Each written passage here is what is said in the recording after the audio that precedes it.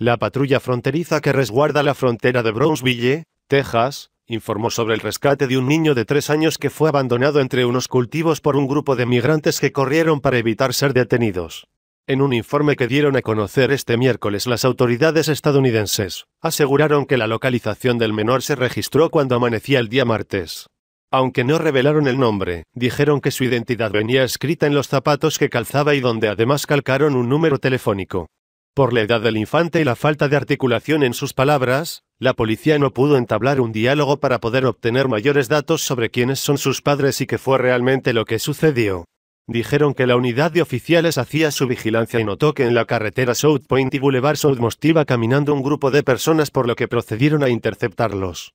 Las personas corrieron y se dispersaron entre los cultivos de maíz por lo que solicitaron apoyo canino para rastrearlos. Finalmente, terminaron por dar con el niño quien se encontraba solo y llorando. Los agentes procedieron a llevarlo a una clínica donde confirmaron que se encontraba en excelentes condiciones. Después de comprarle ropa y alimento acudieron a los diversos lugares de detención de migrantes sin lograr dar con sus padres. Las autoridades finalizaron que será entregado a la custodia del Departamento de Salud y Servicios Humanos de Estados Unidos y que la decisión obedece a los protocolos cuando se aprehende a niños no acompañados.